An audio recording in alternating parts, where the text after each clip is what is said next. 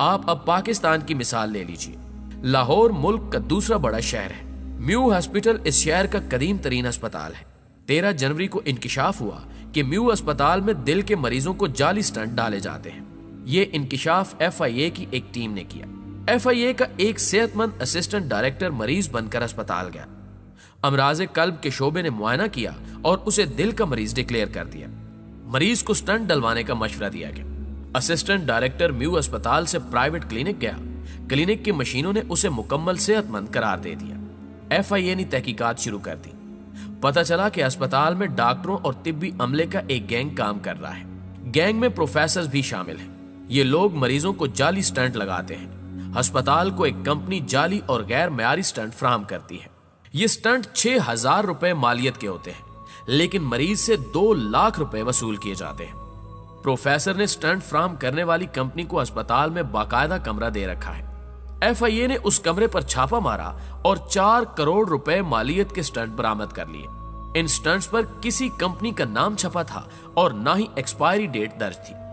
यह धंधा बरसों से जारी था। ये लोग हज़ारों मरीजों को जाली और गैर मयारी स्टंट लगा चुके थे। एफआईए को मालूम हुआ कि ये जालसाज सेहतमंद लोगों को भी मरीज़ डिक्लेयर करके उन्हें स्टंट लगा देते हैं। और वो बेचारा सेहतमंद शख्स पूरी ज़िंदगी दिल की इदवायात इस्तेमाल करता रहता है। पता चला ये सिलसिला सिर्फ़ एक अस्पताल तक महदूद नहीं बल्कि मुल्क में ऐसे दर्जनों अस्पताल मौजूद हैं जहाँ बरसों से यह धंधा जारी है। नजनी ग्रामी ये एक मिसाल थी। आप अगर थोड़ी सी गहराई में जाकर देखें तो आपको पाकिस्तान के अक्सर अस्पताल स्लाटर हाउस और डॉक्टर कसाई नज़र आएँगे। आप किसी दिन दुबई चले जाएँ, आप वहाँ अपना मेडिकल टेस्ट कराएँ और इसके बाद पाकिस्तानी अस्पतालों और लेबोरेटरियों में चले जाएँ। आप ये देखकर हैरान रह जाएँगे कि आपको दिल का डॉक्टर दिल, आँख का डॉक्टर आँख, गुर्दे का डॉक्टर गुर्दे, जिगर का डॉक्टर जिगर और दिमाग का डॉक्टर दिमागी मरीज़ करार दे देगा। ये लोग आपको लाख, दो लाख रुपए का नुस्खा भी लिख देंगे। आप किसी दिन पाकिस्तानी लेबोरेटरीज की रिपोर्ट्स का तजिया भी कर लें। आप अगर मरीज़ हैं तो ये लेबोरेटरियाँ आपको सेहतमंद और आप अगर सेहतमंद हैं तो ये आपको मरीज़ करार दे देगी। आपको ये फ़र्क इदवायात के मैार में भी मिलेगा। मैं इंसुलिन इस्तेमाल करता हूँ। मैं दस साल से फ्रांस से इंसुलिन ला रहा हूँ। मैंने तीन माह कबल पाकिस्तानी इंसुलिन शुरू की। आप यकीन कीजिए कि मेरी शुगर आउट ऑफ़ कंट्रोल हो गई। मैंने दोबारा फ्रांस से इंसुलिन मंगवाई, इस्तेमाल की और मेरी शुगर कंट्रोल में आ गई। फ्रांस और पाकिस्तान दोनों में इंसुलिन एक ही कंपनी फ्राहम करती है, लेकिन मैार में ज़मीन आसमान का फ़र्क है। आपको ये फ़र्क डिस्प्रीन में भी मिलेगा। आप इंपोर्टेड डिस्प्रीन इस्तेमाल करें और उसके बाद पाकिस्तानी डिस्प्रीन खाएँ। आपको फ़र्क जानने में सिर्फ़ चंद मिनट लगेंगे। आपको ये फ़र्क खुराक में भी मिलेगा। पाकिस्तान में बच्चों को अब माँ का दूध भी खालिश नहीं मिलता। साबुन बनाने वाली फैक्ट्रियाँ यूरोप से इस्तेमाल शुदा घी और कुकिंग ऑयल मंगवाती हैं। ये ऑयल इस्तेमाल के काबिल नहीं होता। लेकिन ये लोग ये आयल पिकौड़े समोसे तलने और बिस्किट केक बनाने और मिठाइयाँ तैयार करने वालों को फरोख्त कर देते हैं और ये लोग ये आयल हमारे मेदों में उंडेल देते हैं। दूध में क्या क्या मिलावट होती है और चाय की पत्ती और पानी में क्या क्या हो रहा है, ये अब ढकी छुपी बात नहीं रही। हम कितने बदनसीब लोग हैं।